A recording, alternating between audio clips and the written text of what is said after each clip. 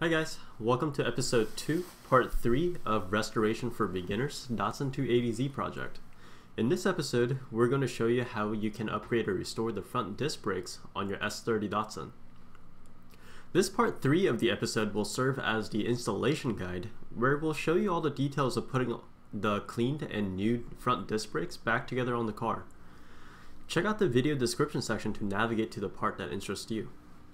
If you haven't already, please check out episode 2 part 1 if you're wondering what parts I'm going to be using, um, wondering about cost estimates, or if you want to just a quick 101 of the key components of the braking system. Check out part 2 if you're interested in learning how to take the old parts off the car and cleaning them, prepping them as needed. I have a 280Z.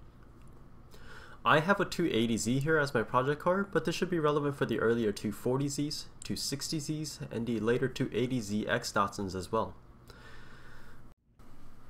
Now that all the old braking parts have been taken off the car and cleaned, let's finally move to the installation portion of the project.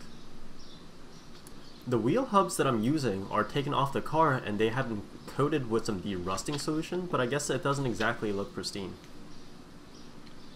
First thing that we're going to do is uh, put some anti-seize on the wheel hub to rotor contact surfaces.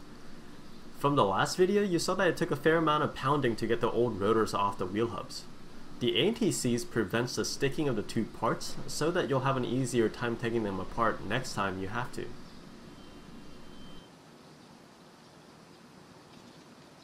We're going to take out our brand new StopTech slotted and drilled rotor from its box. It's the same size as the stock ones, so no modification is really needed. Lay down the rotor carefully onto the wheel hub and make sure to align the bolt holes.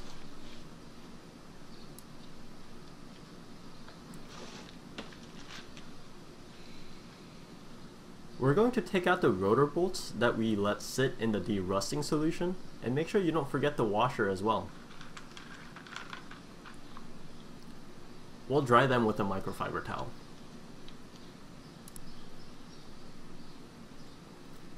But before we install the bolts and the washers back into the wheel hub, let's put some thread lockers on the bolt thread so the bolt doesn't come loose with the vibration of the car. I'm using Loctite Blue thread locker, which is strong enough to use on braking components, but not so strong that it's permanent. It's generally a good idea to use lock, um, thread lockers on braking component bolts. Always hand tighten the bolts or nuts before you use a wrench or a power tool. This eliminates the chance that you'll misalign the bolt and ruin the threads.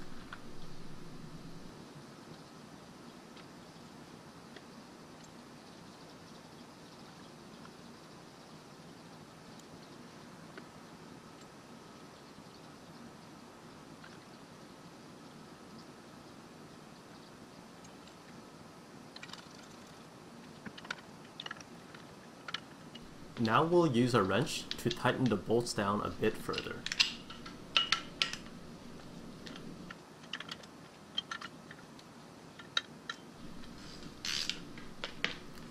Now I'm going to do something that I generally recommend against, using a power tool to tighten down the bolts. You really want to use a torque wrench to tighten down a bolt to a specific torque rating, but I'm using a drill here because I know my drill is set to tighten to roughly around 30 foot-pounds of torque before slipping. And it was difficult to use a torque wrench on this wheel hub while it was free to move around. I forgot to film it, but I did later use a torque wrench to tighten these bolts down to 35 foot-pounds of torque, which is specified in the factory service manual. And there you have it. That's how you install your rotors back into the wheel hubs. Now let's reinstall the dust shield back onto the steering knuckle. If you remember, I took this off even though I didn't have to, just to give it a good cleaning. Um, I also had a chance to paint it black so that it looks a little bit nicer. There's nothing complicated here. Uh, just carefully tighten the screws back with a screwdriver, and uh, that's it. The factory service manual actually did uh, specify that you torque it down to 3 foot-pounds of torque, but I don't think you have to be too exact here. Now, let's reinstall the wheel hub. When we took this off, the grease was very dirty, so I actually went ahead and bought new bearing sets, and you're now watching me repack it with fresh grease. I'm going to speed through this part because I have a separate set of videos that are dedicated to showing you how to replace your front wheel bearings, and that'll take you through all of this in detail step by step. Since this episode is more focused on braking components, uh, we'll speed through this.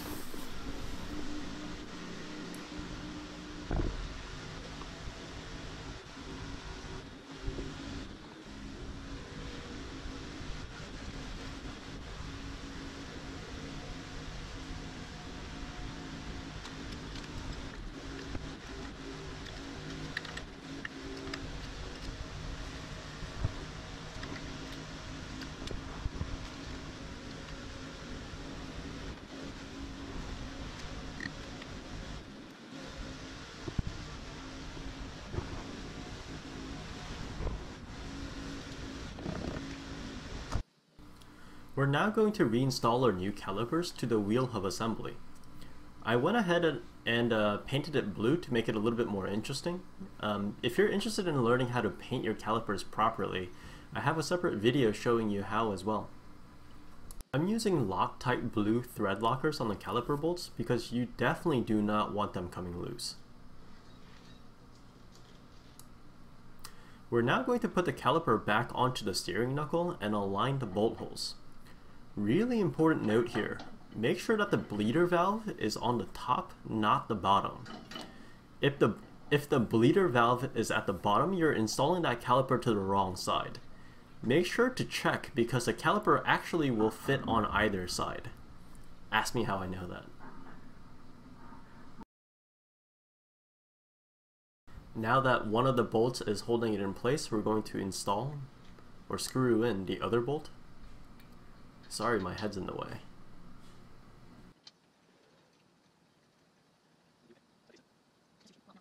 Again, I'm just going to hand tighten these bolts as much as I can. Now I'm going to use a wrench to tighten it a little bit further.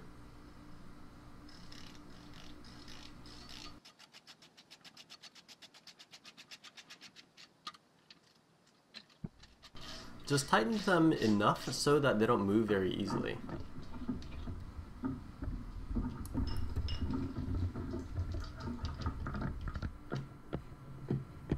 To finish this up, we're going to use our torque wrench to tighten the bolts down to 70 foot-pounds of torque.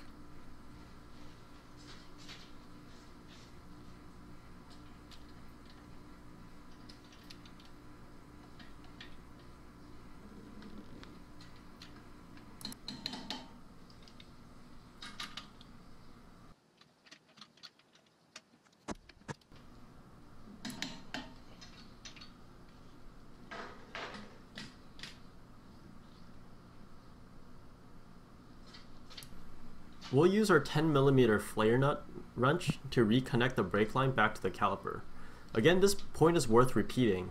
Always use a flare nut wrench on brake lines. These brake line fasteners are really easy to strip, and it's a pain to fix if you strip them with a regular wrench or vice grip.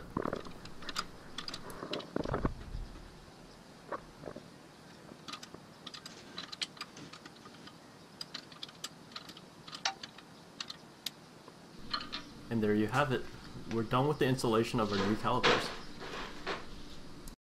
Now let's wrap up by installing our new brake pads. I have StopTech's Street Performance semi-metallic pads that should be a nice improvement over the ceramic pads that were installed uh, on this 280Z. This part of the installation is fairly straightforward. Slide in the pads into the caliper. Two pads will go in each caliper.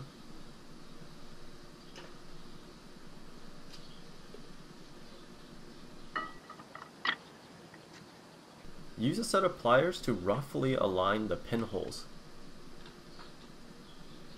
Slide one of the pins in.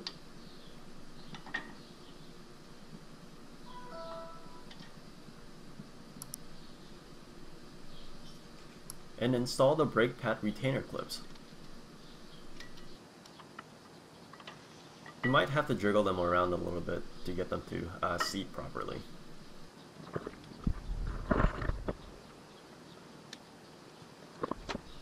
Now let's slide in the, the second pin. Again, use your ply here to make sure that it goes through properly and that the pin goes over the, the brake pad retainer clip.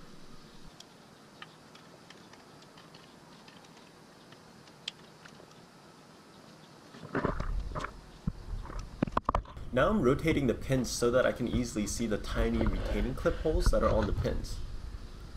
Now push in the pin retaining clips, which uh, basically keeps the pins from falling out of the calipers.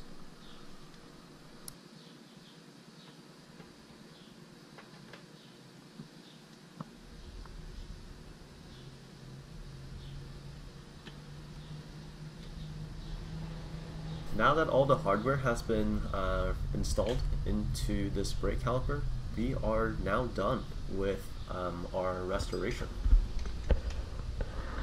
Even though now you're done with the installation, you're not quite ready to drive off yet. You first will need to bleed your brake lines of all the air bubbles we've introduced into the system when we took it apart. I'll make a separate video on how you can do that on your S30 Datsun. You will also need to follow the proper braking procedure after installing new rotors and brake pads. Your brakes won't work to their full potential until the pads and rotors have been properly mated and broken in.